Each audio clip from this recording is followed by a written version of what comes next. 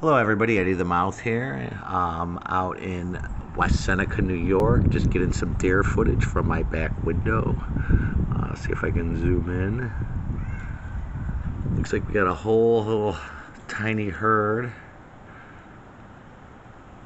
There we go. One, two, three, four, five deer just hanging out back there. Uh-oh.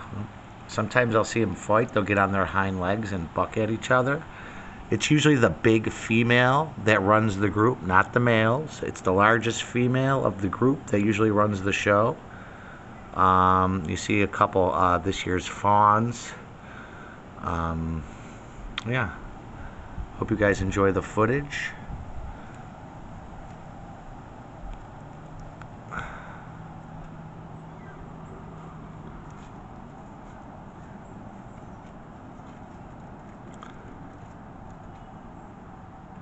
They're out there foraging. Hi. How you guys doing? Oh, is that another one coming in? Looks like we got six now. We got another deer coming over. Oh, there's a fawn. They're still trying. Oh, there we go. We got some action. Oh, she's chasing them off. See, the big females run the show. Uh, the biggest female of the group uh, will uh, chase any other deer away um, when they get in bigger groups. Usually it's a family group or a single deer and fawns, but it's this time of year they do tend to group up.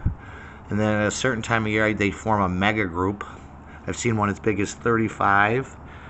Um, yeah, so I hope you guys enjoy the content. This is uh, Eddie the Mouth. Please subscribe. Uh, this is some deer footage from uh, my window. Thank you and have a nice day.